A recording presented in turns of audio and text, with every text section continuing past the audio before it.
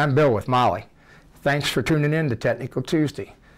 You know, one of the jobs I have at MAHLE is to answer all the online tech questions that come in every day, and I wanted to share with you the very most common tech question I get week in and week out, year in and year out. This is the typical question. And it goes like this. Hey, I bought your rings, and I opened the box, and I took the rings out, just like this. I was so excited to get them, I took them all out like that. Well, now I don't know what ring is the top ring and what ring is the second. Please help me. Okay? Well, first of all, if that's all the information you send on your first inquiry, I can't help you. And the reason is, I wanted to show you, actually, let me get the catalog here and I can show you. The reason is, look here, there's almost two full pages of different top ring designs. Almost two pages. So the deal is, if you don't tell me what part number you have on the set, I don't know what top ring you have, so it's hard for me to tell you, you know, how to look at the rings and figure out which one goes where. So what I need from you is the set part number, like you see right here.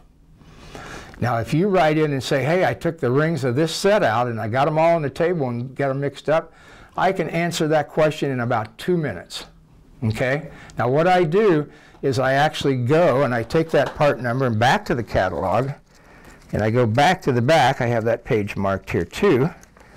And what I have is a section in the back of the catalog that lists every ring set we sell. And then it tells me what piston rings and what design are in that set. So once I know that, I can tell you how to look at those rings and figure out which ring goes where. Now, by the way, I wanted to point out one little thing to you here. Let me show you.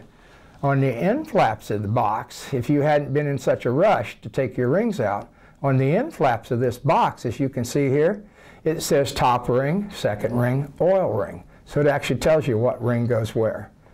But don't feel bad if you got them mixed up. We get these inquiries all the time. That's why we're here. We're very appreciative of the fact that you bought our rings.